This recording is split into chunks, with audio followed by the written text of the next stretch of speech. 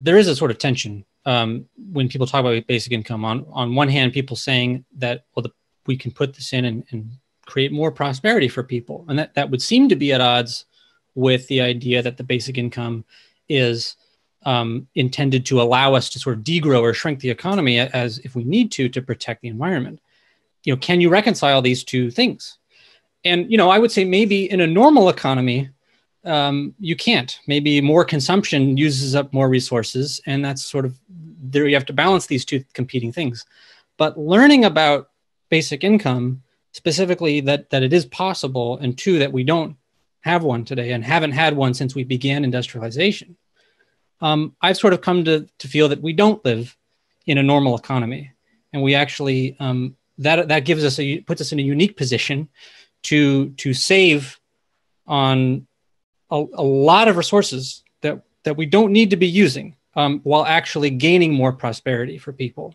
So you can it's kind of a have your cake and eat it too situation, or at least if if this view that I'm um, talking about is correct you know, I guess the question we can ask is just that if if we imagine an economy that actually really is working, working as efficiently as possible to make everyone more prosperous, to actually just deliver uh, better and happier and, and more abundant lives to, to people, and that was the, the point of the economy, would that economy be causing um, the horrible ecological problems that we see today? My, my suspicion is that no. My suspicion is that a lot of the problems that we have stem are related to the fact that we, we uh, we don't really have a prosperity first economy. We have a workaholic economy. And we sort of think that keeping people busy is sort of the most important thing. And we're terrified of the idea that people will be useless or that people or that robots will take our jobs. We're sort of terrified of just maybe slowing down and enjoying life. On the question of degrowth, um, my tentative judgment is yes, we need something like that. But I wonder whether we should be foregrounding that as our our slogan, so to speak. Um, Robert Pollin, who's kind of in the green growth camp, made the observation that uh, if we wanted to contract the global world, uh, the global world product by 10% over 20 years, which would be about four times the contraction of the economic crisis in 2007 to 2009, um, that would by itself reduce carbon emissions by exactly 10%, just a small fraction of what needs to be done.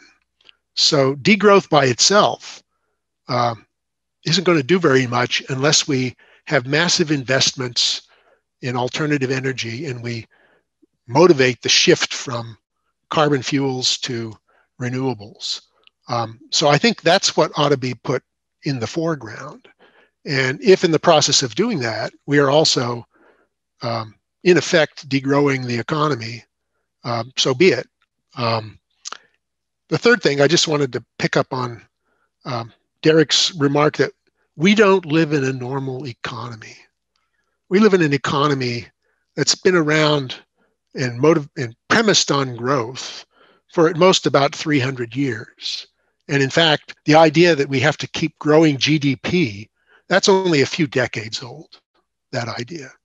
Another dimension of this is Thomas Piketty's um, study of growth and inequality, and his finding that as economies slow down, as, as the growth rate slows, the inequality soars. So we have built in tendencies toward inequality. Um, and if we try to slow down the economy for environmental reasons, we're going to push toward that impetus toward inequality. And interestingly, basic income may be relevant to both of those problems because if we try to increase the basic income to as high a level as we can, we're redistributing wealth, we're, we're increasing tax rates on the rich, we're lowering the inequality, we're reducing the positional goods.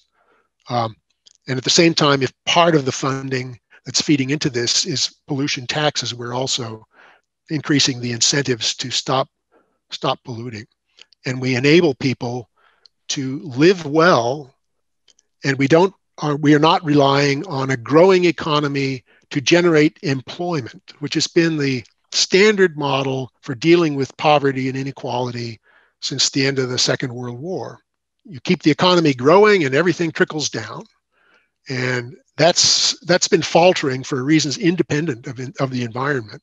It's time we recognize that we need to think of another way to deal with inequality, and it has more to do with redistribution. And I like what you said about full employment, how we kind of uh, conventionally rely on this mechanism of people getting their money through jobs, growth creating jobs in kind of this this cycle, and it doesn't necessarily need to be that way, uh, especially in a basic income world.